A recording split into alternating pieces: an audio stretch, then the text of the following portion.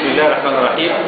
أنا العميد عوض عمار عوض الوفلي مدير فرع جهاز الأمن الخارجي في منطقة بنغازي أخبر بأن الأحداث الدامية وبطش السلطة اللامحدود وإزهاق أرواح بني وطني في مدينة بنغازي العصية ومدننا الليبية الأخرى الطاهرة الأبية لا تترك مجالا لكل وطني شريف إلا الاصطفاف مع الجماهير المتعطشة للحرية المدافع عن كرامتها وعزتها ووحدة ترابها.